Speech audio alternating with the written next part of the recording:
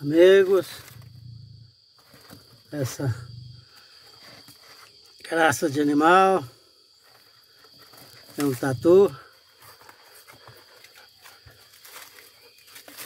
um tatuzinho, ele está ferido, o cachorro farejou ali no cerrado.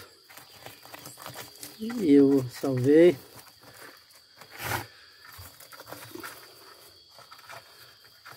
Ofensivo.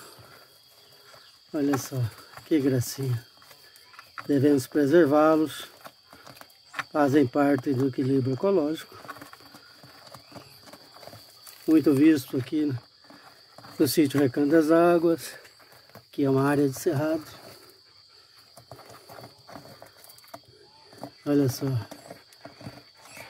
Meu cachorro farejou de longe. Eu acompanhei Peguei ele. Veja que ele tá furando um buraco aqui.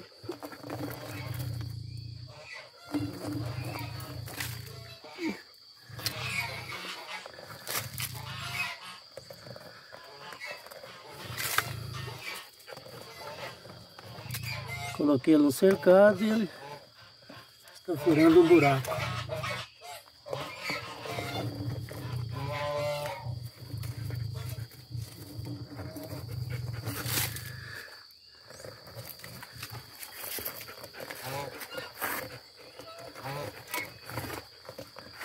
Se é a defesa dele for um buraco no chão, se esconde. Agora vou, vou liberá-lo. Vou tirá-lo daqui e soltar bem no, no meio da capoeira. Ali. Preserva, não mate o bicho. Tem pessoas que até comem esse tipo de animal. Uma falta de sensibilidade tamanha. Pode ver que ele morre de medo da gente. E vou encerrar o vídeo aqui, sempre dizendo, proteja os animais, proteja a fauna, a flora.